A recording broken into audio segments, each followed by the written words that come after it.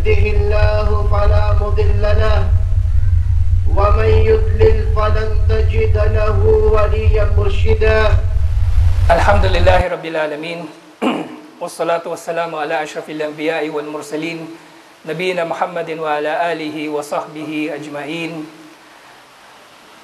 فإن خير الحديث كتاب الله وخير هدي هدي محمد صلى الله عليه وسلم وشر الأمور محدثاتها wa kullu muhdadatin bid'a wa kullu bid'atin dalalah. ang papuri kay Allah subhanahu wa ta'ala at nawa ang kanyang kapayapaan at pagpapala ay mapasa propeta Muhammad sallallahu alaihi wasallam gayon din sa kanyang pamilya at mga kasamahan.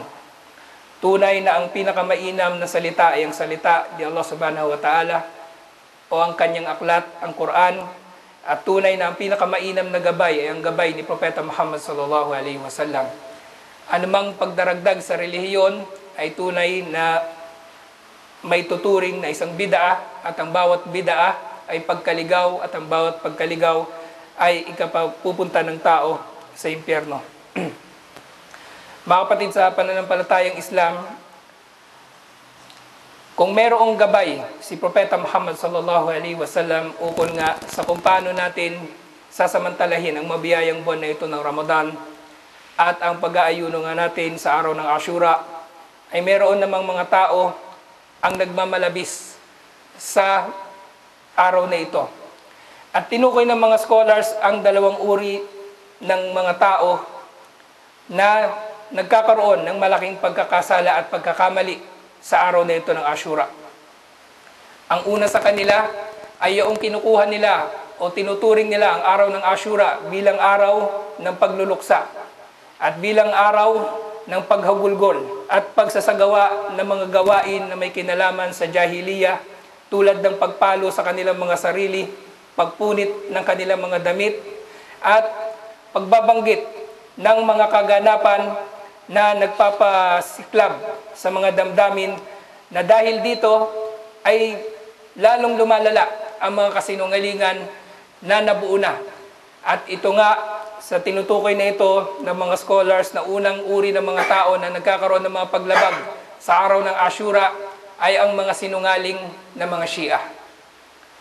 Na sa kanilang maling itinuturo ay sinasabi nila na bagaman totoo nga na naganap na isikisampung araw ng buwan ng Muharram sa 61 uh, Hijrah sa taong 61 matapos ang Hijrah ay pinatay ang apo ni Propeta Muhammad sallallahu alaihi wasallam na si Al-Hussein bin Ali ay sinasamantala nila ang Ashura, ang araw ng Ashura at ang mga araw bago nito upang pasiklabin ang kanilang mga damdamin at pasiklabin ang puot ng mga kapwa nila kampon ni Satanas laban sa mga sahaba.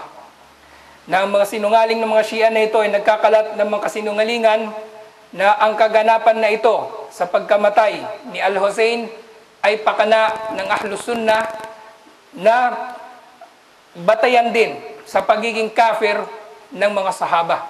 Nabatayan din ko bakit higit nating lalong kamumuhian ang mga sahaba. Kaya makikita natin ngayon ang mga Shia sa iba't ibang mga pamamaraan ay lalo sila nagpapakita ng gilas sa kanilang pagliligaw, sa kanilang pagdadakwa tungo sa pagkaligaw. Kaya mga kapatid sa pananampalataya, alalahanin natin ang sinasabi ng mga scholars ukol sa kaganapan na ito sa Karbala na isang gawain o isang pangyayari na ipinipintas ng mga Shia na ligaw sa Ahlus Sunnah wal Jamaah. Sinasabi ng mga scholars na bagaman nagkaroon nga ng patayan sa pagitan ng mga Muslim sa Karbala na naging dahilan ng pagkamatay ng apo ni Propeta Muhammad sallallahu alaihi wasallam, hindi ito mangangahulugan na sa pamagitan ng pangyayaring ito ay lalahatin natin na sisisihin ang lahat ng mga sahaba, lalong-lalo na ang mga khulafaur rashidin. Ang nangyari na ito sa Karbala, ang pagkamatay ni Al-Hussein ay hindi kagustuhan ng napakaraming mga sahaba kaya hindi nila ito maaring isangkot sa kanila o hindi nila maaring isangkot ang mga sahaba na nagtulungan o naggumawa uh, ng pakana upang mapaslang ang pamilya ni Propeta Muhammad sallallahu alaihi wasallam.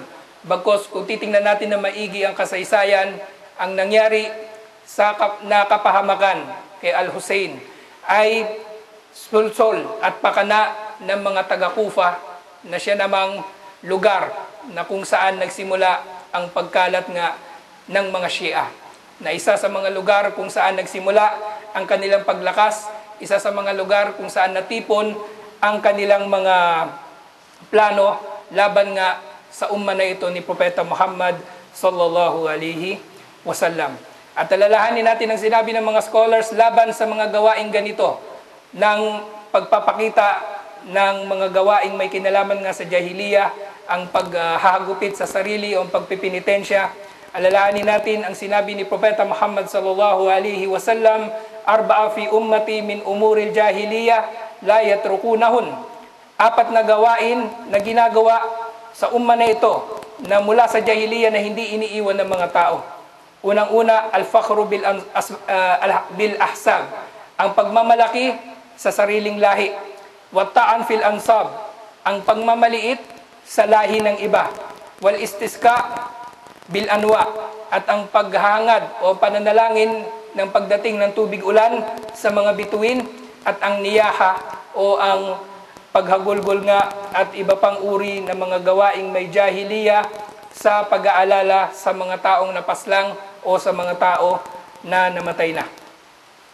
Ikalawang uri ng mga tinutukoy ng mga scholars na nagkakaroon ng mga malaking pagkakamali sa araw na ito nga ng Ashura ay kung merong yaong mga nagpapakita ng iba yung kalungkutan sa araw na ito dahil di umano sa pagkamatay ni Al-Hussein radiyallahu anhu ay yaon naman mga tao na inakala nila na sa pamamagitan ng kanilang ginagawa ay matataliwas nila ang ginagawa ng mga Shia.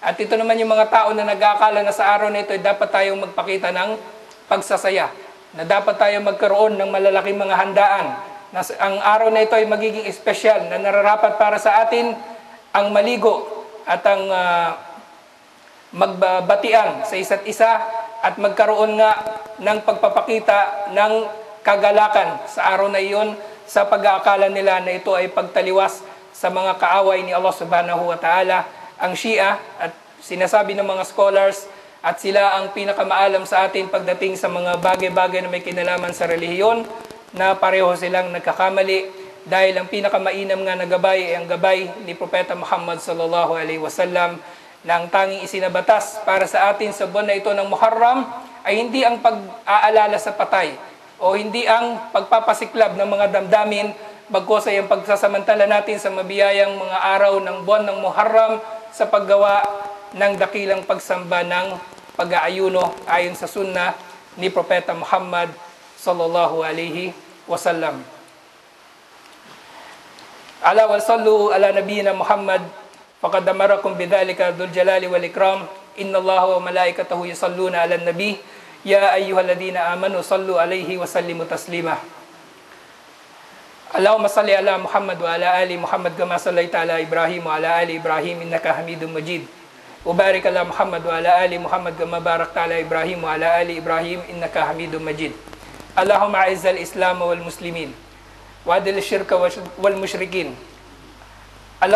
بحوزة الدين واجمع شمل المسلمين وألف بين قلوبهم وانصرهم على عدوك وعدوهم واهدهم سبل السلام.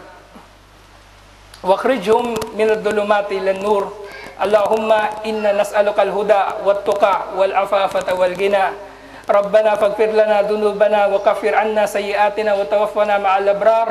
ربنا آتنا في الدنيا حسنة وفي الآخرة حسنة وقنا عذاب النار. أقيموا الصلاة إن الصلاة تنهى عن الفحشاء والمنكر.